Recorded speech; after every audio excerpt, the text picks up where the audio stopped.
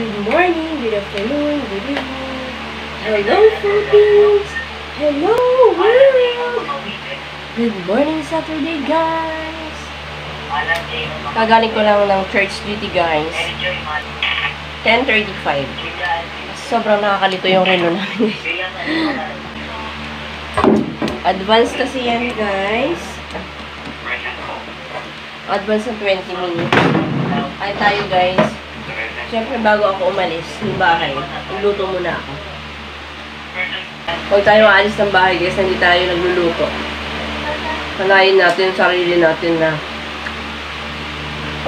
bilang isang ina, yung ilaw ng tahanan, meron may responsibilidad tayo sa pamilya natin.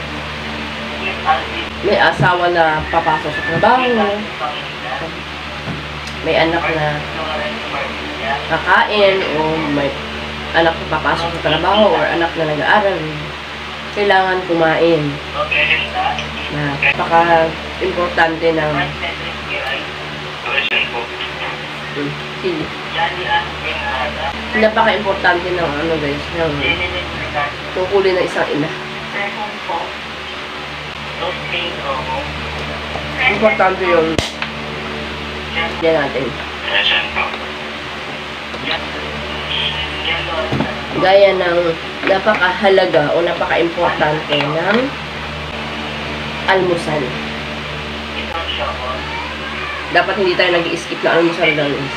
Kasi, diba, magdamag wala tayong kain ng oras. Kung natutulog ka ng alas 10 at babangon ka ng alas 6, ilang oras yun?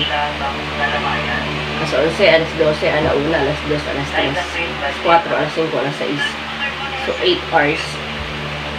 8 hours na hindi ka kumakain. So, kailangan merong, paggising natin, meron tayong kakainin. Merong kakainin ang asawa natin, ang anak natin, mga anak natin.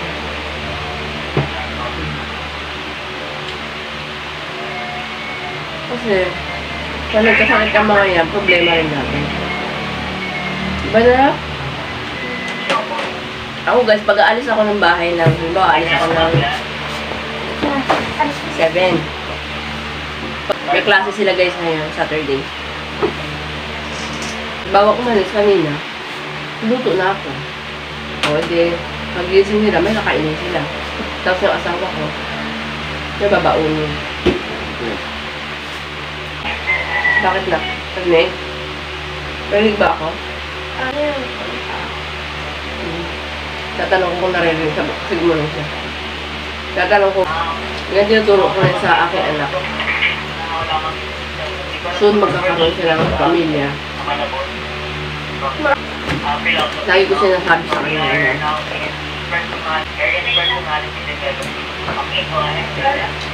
lagi ko siya ina-advise. Halos araw-araw.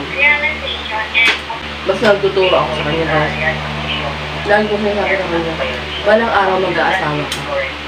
At kapag nag-asawa ka, gawin mo yung ginagawa ko sa iyo sa ginagawa ko sa papa mo. Ang niluto ko kanina guys is bangus na paksyo, paksyo na bangus. Yung madali lang lutuin. So ayan,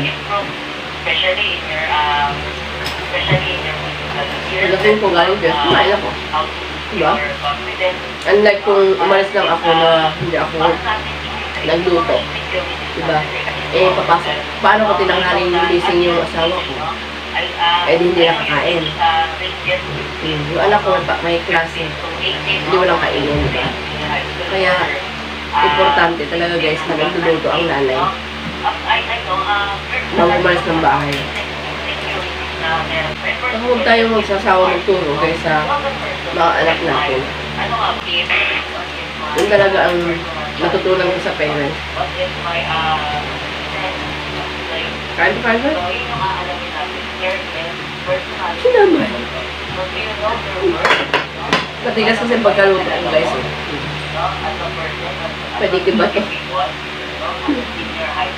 Ayun. Yun nga guys. Huwag tayo magsasawa. Magturo sa mga anak natin. Sabi nga sa Biblia, huwag kang manghimagod Huwag kang mapagod, huwag kang magsawa na magturo sa iyong mga anak. Responsibilidad natin yun. Kahit magalit o sumama nila sa atin, okay lang.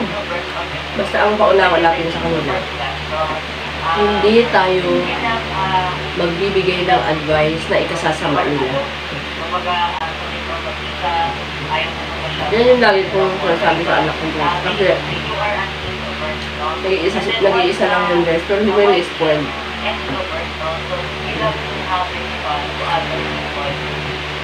Hindi naman siya palas pasaway na anak. Pero, ang kalakaran ng mundo ngayon guys, ay iba, iba talaga mga bata. Kaya pag hindi ka nagturo, yung mga anak mo, magiging yung sakit ng lipunan. Kasusunod na talakayan natin guys, paano ko pinalaki ang aking anak isang magalang at mabait na bata. Kahit nag-iisa siya. So yun guys. See you on my next video guys. Please like, share, and subscribe. Bye! Bye!